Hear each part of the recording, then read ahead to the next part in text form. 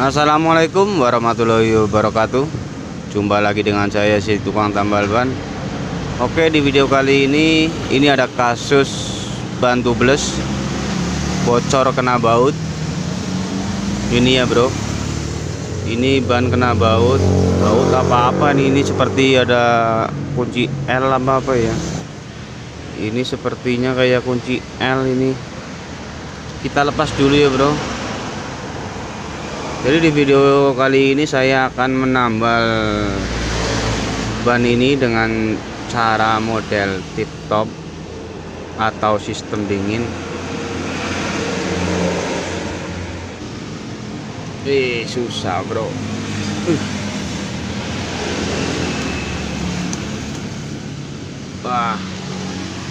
Panjang juga bro. Ini baut L apa ya? Panjang juga. Ini sampai berlobang ini mungkin ada sekitar 5 milian lah. Ada sekitar 5 mili bocornya. Untuk mengatasi bocor sekitar antara 1 mili sampai 5 eh, 6 mili kita gunakan ini.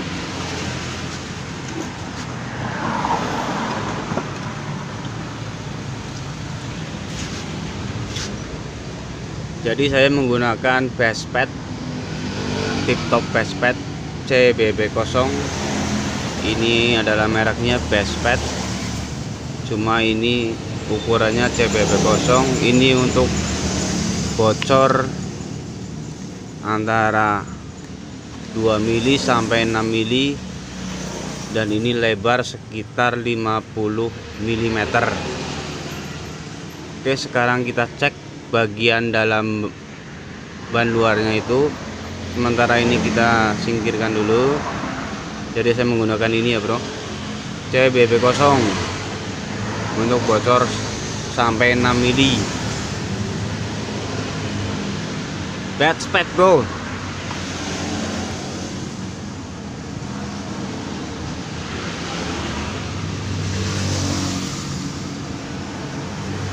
Hilang bro hilang bro ini. Ini kita ganjal dulu. Di sini saya pakai bambu bro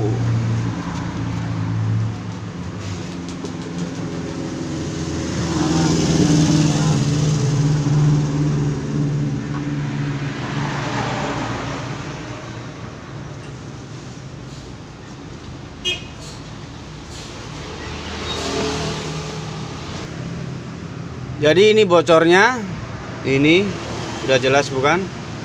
Untuk tahap awal kita tandai dulu agar jelas nanti di tahap pengerokan. Jadi ini nanti dikerok jadi kita tandai dulu. Kita ambil as tengahnya seperti ini. Sudah kita ambil as tengahnya. Kita ambil base padnya sekarang kita paskan di bagian as tengahnya biar jelas biar tidak melenceng tepat di bagian tengah untuk kebocorannya. Sekarang kita tandai memutar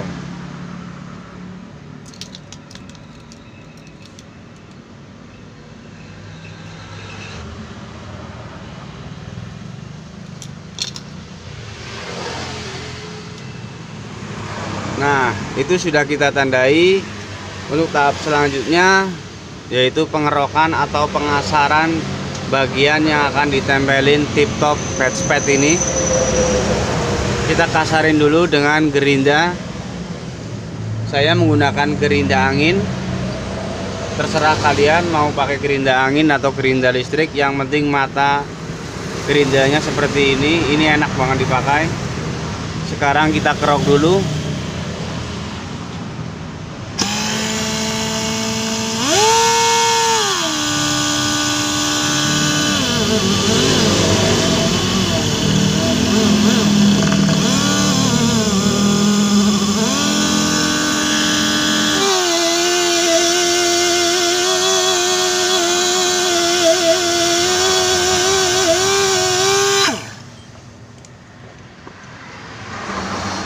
sudah saya kerok.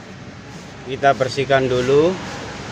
Sorry ya bro. Maklum tambal ban jalanan. Kita nggak punya alat komplit jadi kita pakai alat seadanya. Seharusnya ini pakai kuas. Ya seadanya lah.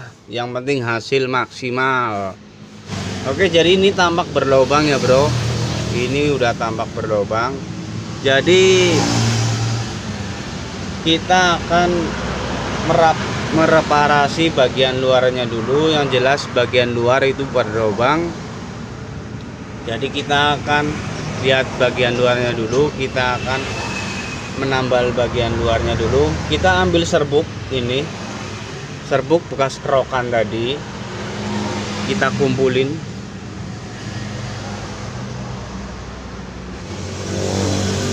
Udah. Sekarang kita lihat bagian luarnya dan untuk bagian luarnya ini terlihat bolong. Jadi untuk mengatasinya kita menggunakan serpuk yang tadi. Serpuk kerokan tadi yang bagian dalam. Kita masukkan ke sini. Kita masukkan ke dalam lubang. Pokoknya kita sumpalkan ke dalam lubang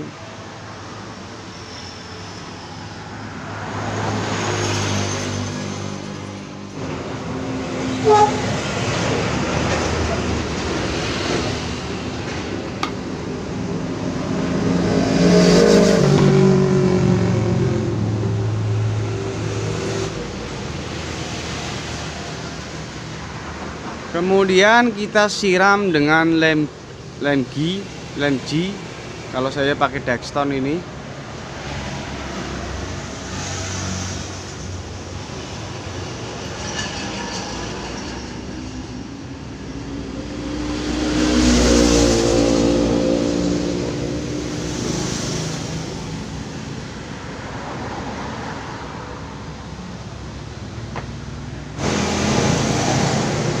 sudah mengeras. Sekarang kita gerinda bagian luarnya sama rata dengan bagian ban luarnya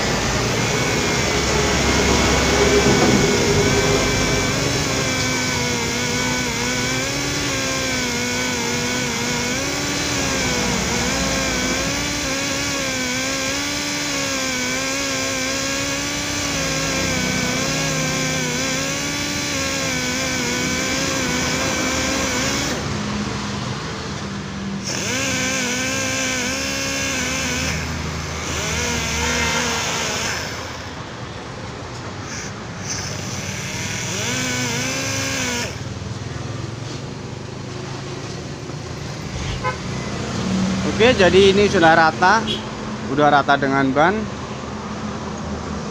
Jadi ini, ini untuk, untuk menutup luka bagian luarnya. Sekarang kita kembali lagi ke bagian dalam. Oke bro. Untuk tahap selanjutnya yaitu pengeleman. Lemnya juga nggak boleh sembarangan. Lemnya ini satu produk. Lem patch pad. Patch padnya tip topnya ini harus satu produk. Sekarang kita lem dulu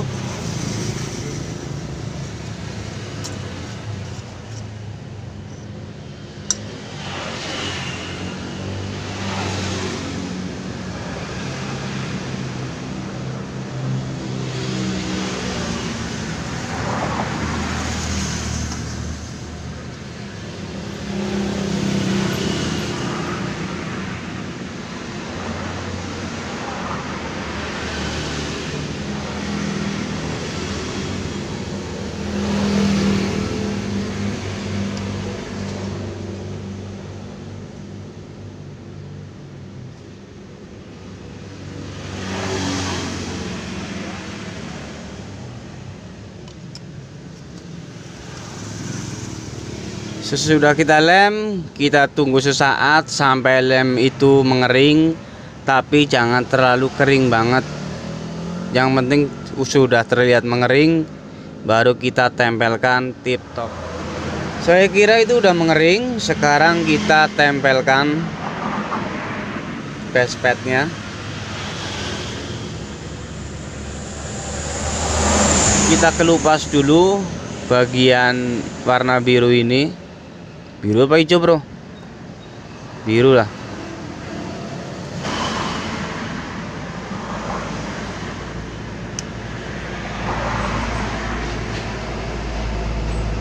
Jadi kita kelupas seperti ini sebelah. Yang sebelah jangan dulu kita buat pegangan tangan. Sekarang kita mulai tempelkan secara berurutan. Secara berurutan ya bro seperti ini.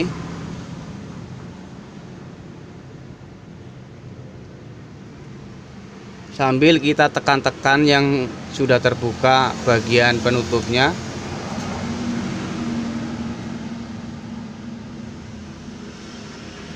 Kita tekan. Udah. Kemudian kita tekan-tekan juga dengan jari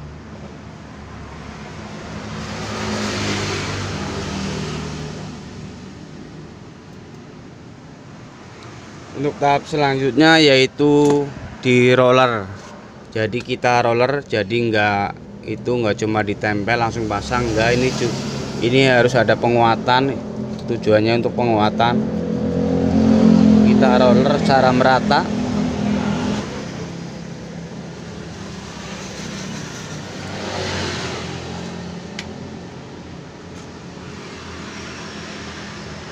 kemudian kita ambil plastik penutupnya dulu.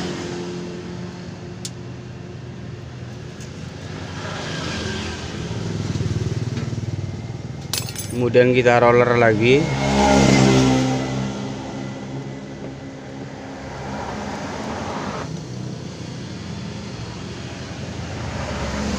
Dan sudah jadi. Nah apa kita cek dulu ya bro? Ya oke kita cek kita pasang kita lihat hasilnya apakah mengalami kebocoran atau tidak. Oke bro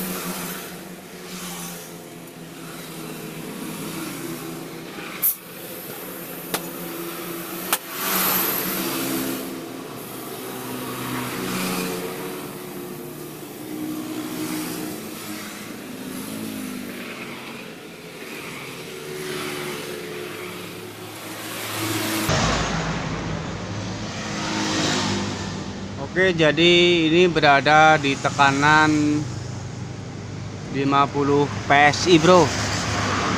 Tekanan 50 PSI ya bro. Sekarang kita cek dengan air sabun. Kita cuma tambal ban pinggir jalan loh bro. Ini ya bro yang tadi. Masih paham kan dari awal tadi? Kita cek dengan air sabun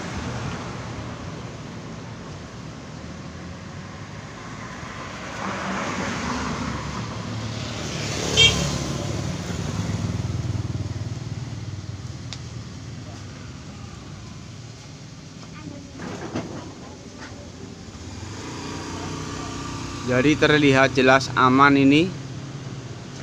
Mana sih bro? Oh ini.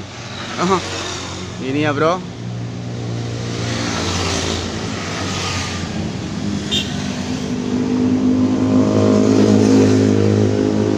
Nih. Jadi itu aman. Berada di tekanan 50 PSI 50 PSI dan ini bekas tambalan tadi. Ini nggak bocor sama sekali aman. Ini rata lagi dengan lapisan ban luarnya. Oke jadi itu tutorialnya atau cara mempraktekannya. Semoga video ini bermanfaat buat kalian. Terima kasih yang sudah menonton. Wassalamualaikum warahmatullahi wabarakatuh